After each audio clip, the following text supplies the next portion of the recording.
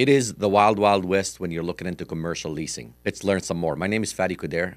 I'm a local realtor here with Sutton Group Ottawa. And let's talk about the nine things that you did not know about when it comes to commercial leasing. You want to stay tuned for number nine. Number one, there are many types of commercial leasing. Things like single net, double net, triple net, absolute triple. Each one of them is different and it all depends on what you're looking for in terms of the lease.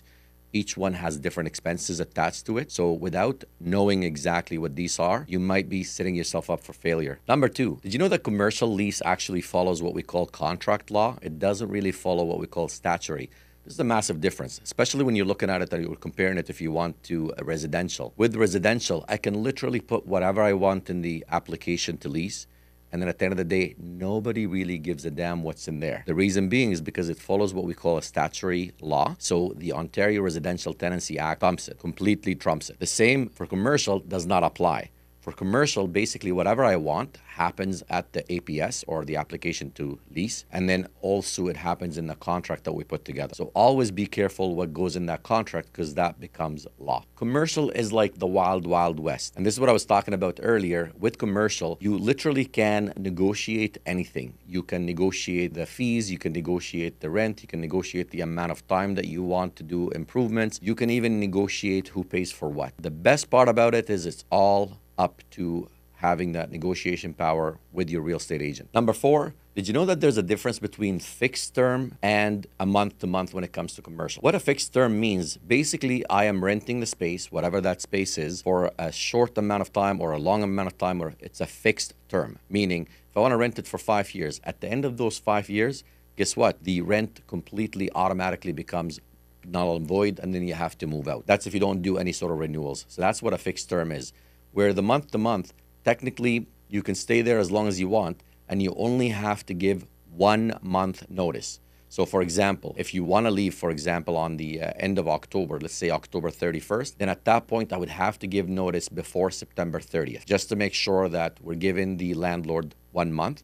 And that same goes to the landlord as well. The landlord can give you the same amount of time, six, 30 days. That's it. It's not like the Ontario Residential Tenancy Act with residential where you have to give 60 days and that's about it. Number five, when it comes to the commercial, always rely on realtor so you can actually put what we call an offer to lease or a letter of intent. I would not rely on the realtor such as myself to write you the full contract.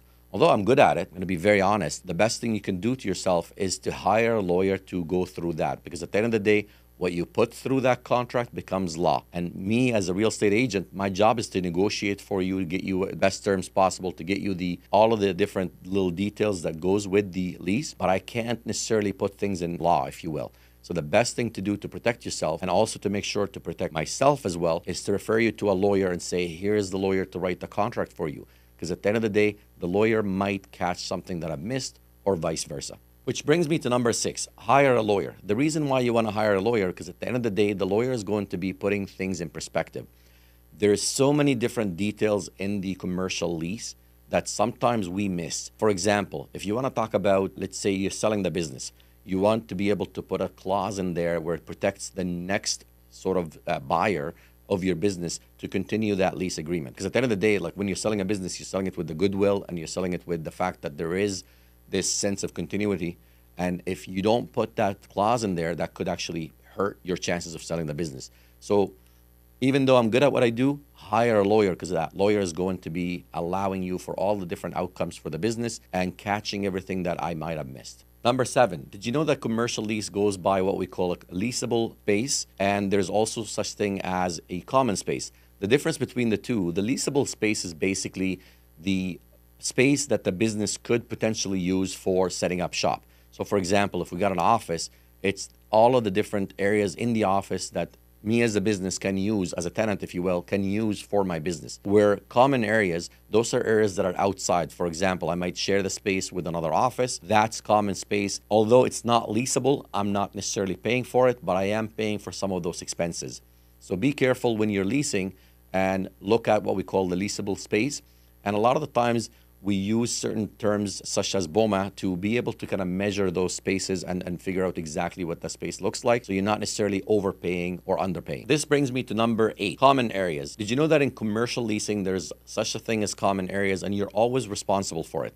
So I'll give you an example. If you're renting, uh, you know, an apartment or something in a multi-unit, a lot of the times you don't you're not responsible for the lights outside you're not responsible for the stairs or the uh, elevator or anything like that however when it comes to commercial lease you are responsible for what we call common expenses and a lot of the times depending on the type of lease that you're getting, if it's a single net, double net, triple net, or absolute triple, which is obviously the one that most people go to, it's the most profitable for landlords. You are responsible for all of those expenses that come with the absolute net. And number nine, which is by far one of my favorites for my investors, for my commercial investors, and this is the fact that you can evict at 16 days without notice.